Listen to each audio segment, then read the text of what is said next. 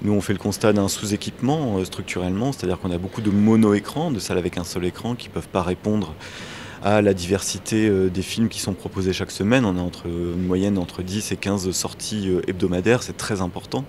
Donc avec un seul écran, effectivement, c'est très difficile d'assumer. Et puis, il y a un autre problème structurel, évidemment, qui est le problème énergétique. On a des, cinémas vieillissants qui sont parfois des passoires thermiques.